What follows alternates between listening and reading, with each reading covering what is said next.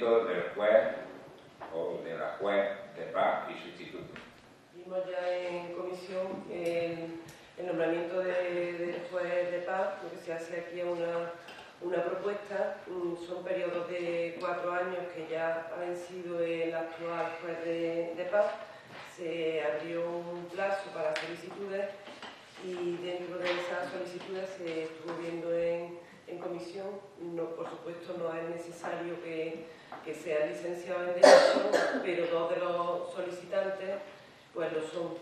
Entonces, la propuesta viene en el sentido de nombrar mm, tanto juez de paz como sustituto a los dos solicitantes que tienen la licenciatura en,